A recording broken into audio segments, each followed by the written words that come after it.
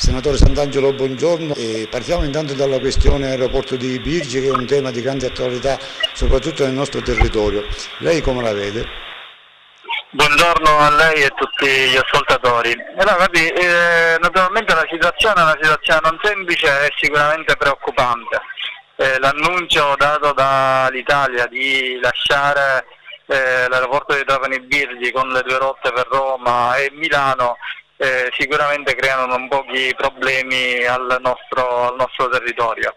Eh, stiamo cercando di far chiarezza su queste dinamiche che naturalmente eh, non sono mh, mm, eh, conosciuti a tutti, nel senso che stiamo cercando di comprendere quali sono i vincoli contrattuali che legavano all'Italia all'aeroporto di Trapani Birgi e se eh, l'Italia potesse così in maniera unilaterale e senza preavviso eh, lasciare l'aeroporto. Ora, leggendo da alcune note di stampa eh, detta dal Presidente Ombra, eh, non ci sarebbero vincoli contrattuali nel senso che il bando che era stato aggiudicato nel 2016 non era stato mai firmato eh, dal, eh, dall'Italia.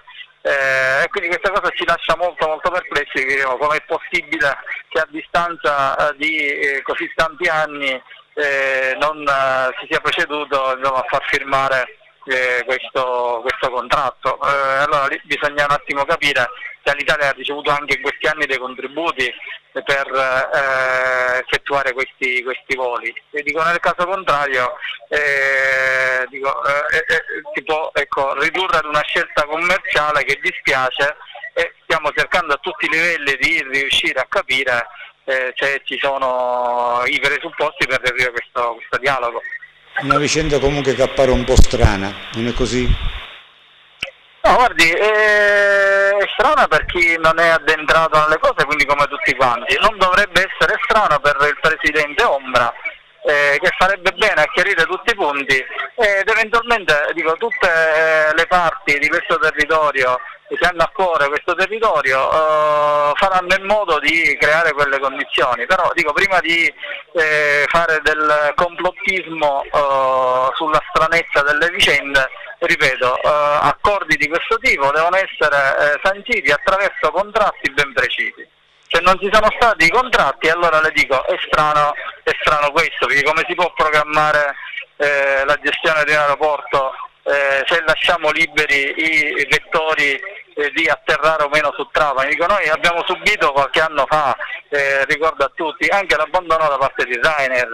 Eh, ora qui dico, non si tratta né eh, che il Rainer è bella e all'Italia è brutta o viceversa, perché credo che a tutti quanti eh, gli abitanti del territorio interessano che arrivino gli aerei e portino i turisti in modo tale da poter far ripartire immediatamente l'economia in questo, in questo territorio.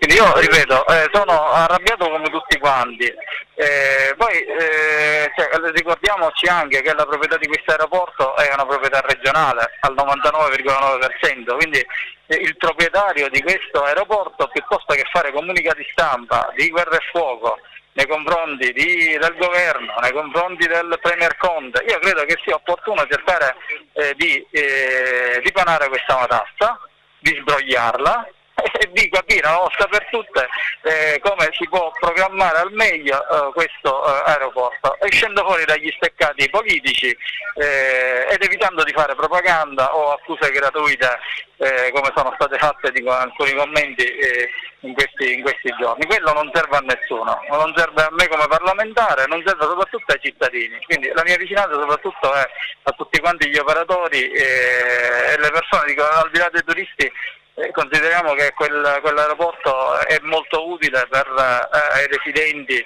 per spostarsi per motivi di lavoro, di salute, di studio, quindi eh, è assolutamente un qualcosa eh, di, cercare di riparare. Poi dico tra altre cose, eh, spero di non sbagliarmi, ma credo che è stata fatta anche, eh, è stato dato l'annuncio di una nuova tratta che andrà per Milano con un'altra compagnia.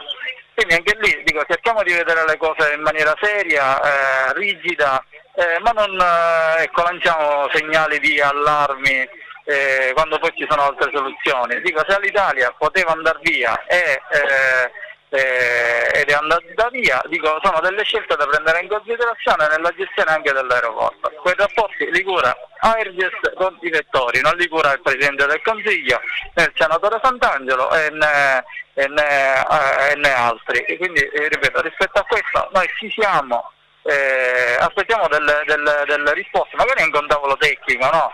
perché piuttosto che fare delle manifestazioni chiamando eh, eh, tutte le persone, puntando sul malcontento delle persone, probabilmente per risolvere questo problema bisognerebbe tutti gli attori eh, sedersi ad un tavolo, eh, mettere la documentazione a disposizione di tutti e cercare di comprendere come meglio venirne fuori prima possibile. Dico, questo è il mio, il mio punto. Eh, veniamo al secondo punto, eh, questo prestigioso incarico per il senatore Sant'Angelo, la nomina facilitatore nazionale per quanto riguarda i rapporti interni del movimento con gli enti eh, locali. Un prestigioso riconoscimento, ecco, il suo ruolo in, in pratica in cosa consisterà da oggi in poi?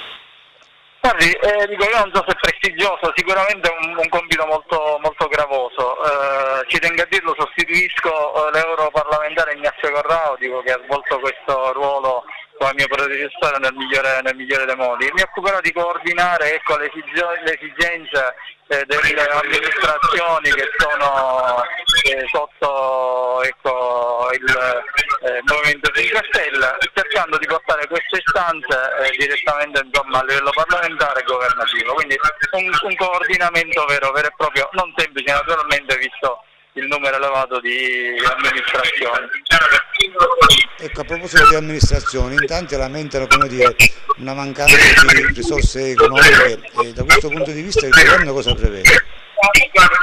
Allora, guardi, delle azioni sono state già fatte a favore dei comuni, le altre ne saranno fatte eh, con il decreto rilancio che è in discussione presso eh, la Camera dei Deputati proprio in questi giorni. Eh, è chiaro che i comuni si troveranno in grossissime difficoltà e il governo ha ben presente questa cosa, quindi anche ulteriori azioni, anche attraverso un dialogo costante con l'amministrazione, con l'ANCI, eh, si adotteranno quelle misure che possono consentire a tutti i comuni di poter continuare a fornire i servizi essenziali eh, nel rispetto anche dei, dei bilanci eh, dico, è notizia insomma, in questi giorni eh, soprattutto insomma, i nostri comuni sulla costa si trovano davanti con la problematica di gestione del, eh, della sicurezza. eh, del, delle, delle, spiagge per il Covid. Anche quelle sono delle spese che si aggiungono eh, come costi già agli esigui bilanci dei comuni, quindi anche su questa cosa ritengo che il governo debba eh, avere la sensibilità di intervenire immediatamente eh, cercando di venire incontro il più possibile in questo difficilissimo momento storico a tutte le amministrazioni comunali. Benissimo, grazie della sua disponibilità senatore. Grazie, grazie a voi e buona giornata a tutti.